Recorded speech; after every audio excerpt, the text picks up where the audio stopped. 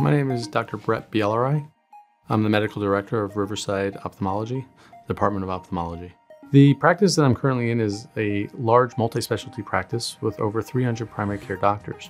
I am the only sole ophthalmologist to help service the ophthalmic needs and ophthalmic care. The Triton OCT appealed to me three to four years ago when I was looking for the best optimal technology that would give me OCT technology, fundus photography, and with OCT, I was looking at OCT retina, OCT nerve, as well as anterior segment.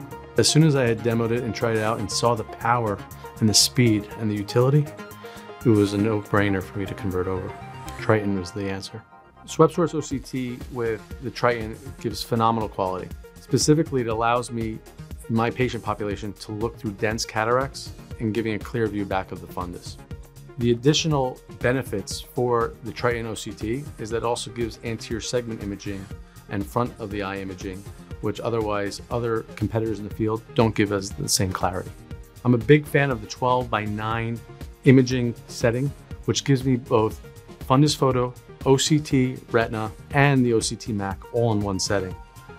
With the patient population that I have and the amount of patients I have to see through a day in the clinic setting, I need to see the information at first glance and need to be able to digest and properly diagnose in a moment's notice. The Triton really can help me out with being able to diagnose and clearly see all different aspects of the patient, the patient's ocular comorbidities, all in one shot. My clinic staff truly value the Triton beyond any other device in my clinic office.